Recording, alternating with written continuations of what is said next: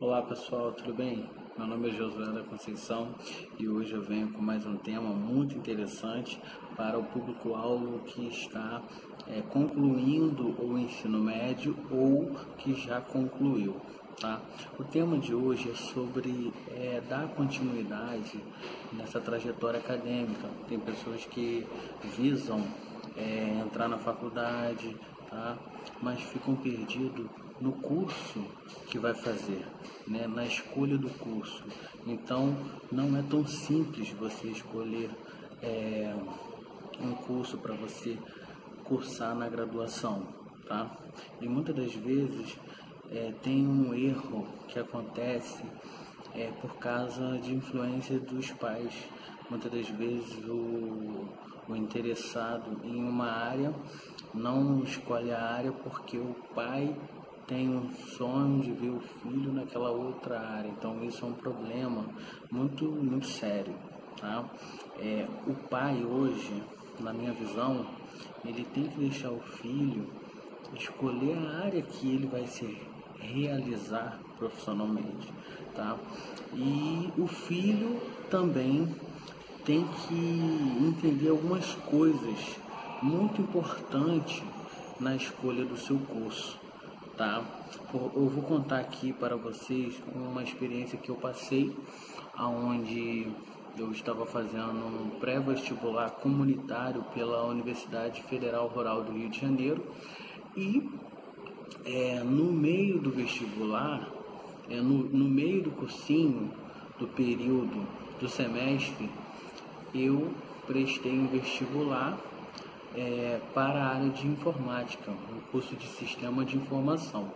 E eu achava que era informática, né? Que era na época era Orkut, MSN, mas eu me enganei porque quando eu cheguei é, a fazer o, o, o pré-vestibular é, e eu fiz o vestibular e fui aprovado quando eu olhei a minha grade no primeiro período na, na graduação, foi algo extremamente louco para mim.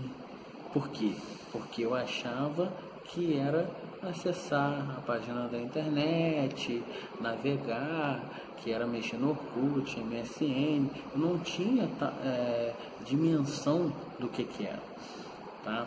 E lá eu encontrei algoritmo 1, álgebra linear, matemática aplicada.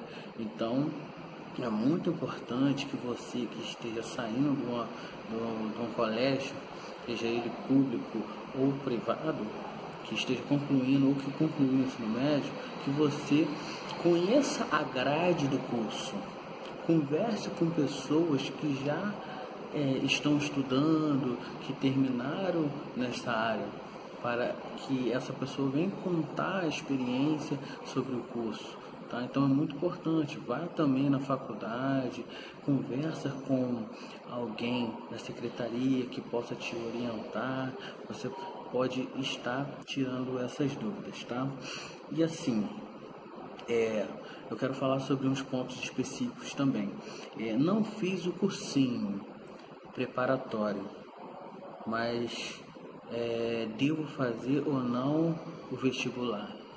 É uma experiência muito boa. Quem sabe você é, não seja aprovado. Então, vale muito a pena você tentar, tá? não custa nada, tá? E também você pode ver na sua região, você tem programas do governo que oferecem cursos preparatórios para vestibular de forma gratuita, tá? É, quero falar sobre outro ponto importante também, tá?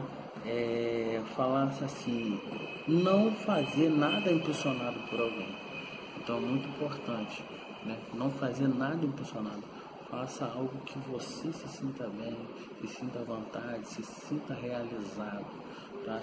Isso é muito válido.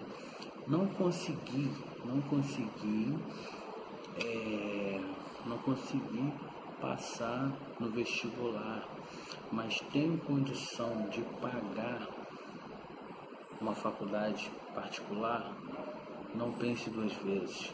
conheça o curso e faça, tá? Conheça o curso e faça. Isso é muito importante. Tá? Não tenho condição de pagar uma faculdade particular, não conseguir no público. Você faça cursos. O governo tem vários programas para ajudar Pronatec, FAITEC e FRJ. Você não pode deixar de estar estudando, se capacitando, se aperfeiçoando. Também é, há uma possibilidade dos cursos técnicos. Também é uma ótima opção para você entrar rápido no mercado de trabalho já sabendo é, uma profissão, tá? Então, assim, é uma dica muito valiosa. Aí eu estarei criando mais vídeos para poder ajudar com base em experiências próprias, tá? E tenho certeza que se você é, seguir essas orientações, você vai galgar uma boa posição no mercado, vai poder estar se realizando, tá? E ressaltando, não faça nada impulsionado, porque o que vale é a sua re realização.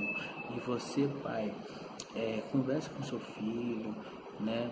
É, motive ele a sempre estar estudando, a sempre estar escorrendo atrás de coisas boas, se relacionando com pessoas que querem o mesmo objetivo, pessoas que querem vencer na vida, pessoas que não, não se iludem com os caminhos errados, tá? E querem ser um cidadão de bem tá? Um grande abraço a todos, fiquem com Deus.